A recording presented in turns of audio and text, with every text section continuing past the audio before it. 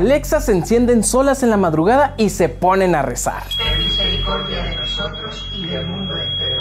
Esto fue una parte del rezo que las famosas Alexas que se activaron solas a las 3 de la mañana en un palacio de hierro en la CDMX. El clip de tan solo 36 segundos de duración fue grabado por el guardia de seguridad de la tienda y resulta bastante aterrador que supuestamente no había nadie más acompañándolo. Ni se activaron con el comando de voz de un humano. No es la primera vez que esto pasa, hay más videos en internet donde este asistente virtual comienza a rezar rosarios, leer la Biblia o cantar canciones religiosas. La diferencia es que se nota que son grabaciones programadas, no la voz del mismo aparato. Este rezo llamó la atención de miles de usuarios en internet. Algunos se lo tomaron con humor diciendo que las Alexas estaban en modo Semana Santa, mientras que otros están contando sus terribles experiencias con este mismo aparato electrónico que tienen en sus casas, por lo que recomiendan tener precauciones y no tomar